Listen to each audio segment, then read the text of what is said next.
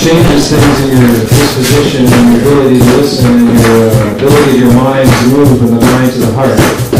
You gotta get out of your mind, you gotta move from that beat of something outside, that electrical, that, uh, that kind of purpose thing, coming from your computer, coming from your television, coming from all these enclosed spaces you're in. And there's another place, there's another place you can go together, the only way to get there is through music. The only way to get there is when your mind decides to turn off. To start to breathe, take a deep breath. Realize you're in a room with a whole bunch of other amazing beings with an energy, energy field that can change the world. We're in the middle of Victoria, Cornerstone Cafe. Could be the best place planet right now to be. Change your disposition, to change your mood, and get into a new energy field that builds, pulses. If you look at the maps in front of you, there's two of them. The purple one on the outside, on the inside, is the lunar cycle.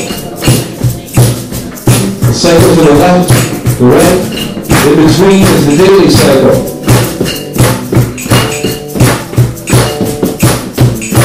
Every day we go through a cycle.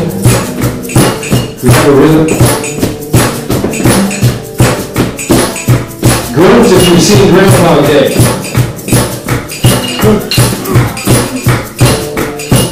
Smile if you've seen Groundhog Day. The movie. Remember it? Every day, same day. Every day, you're doing that out map. Waking up in the morning, going out doing things, and what happens at the end of the day? You go to sleep. And it happens over and over again. And right now,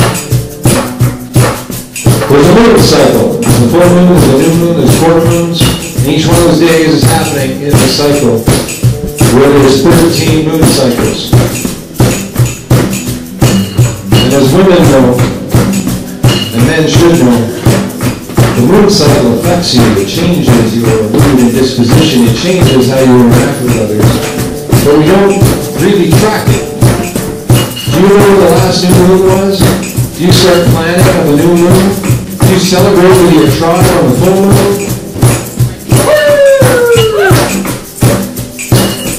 So what this is, is this is an evolutionary, revolutionary anthem of the It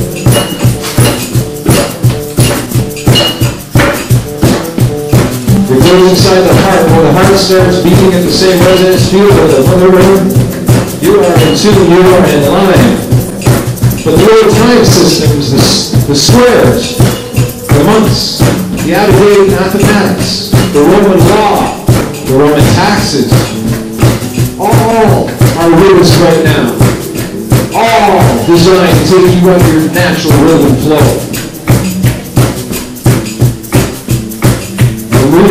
Paradigms, we're moving into a new world, we're moving from the masculine patriarchy to the nurturing matriarchy, the caught in between with ego and ISIS, FEMA camps, fluoride, chemtrails, like what's happening on the planet right now? It's like some bad science fiction movie that went out of play. We're in the middle of it, doing our job, thinking that this is life going. There has to be something better. I know there is. It's out there, somewhere. I think we just came into this room.